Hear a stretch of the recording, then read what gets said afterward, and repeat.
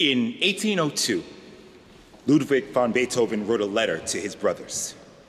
In it, he despairs over his increasing deafness, confesses to thoughts of ending his life, and expresses his desire to overcome his hearing loss and continue his creative legacy. This letter, now called the Heiligenstadt Testament, was found after his death having never been sent. 14 years after penning the letter, Beethoven was completely deaf.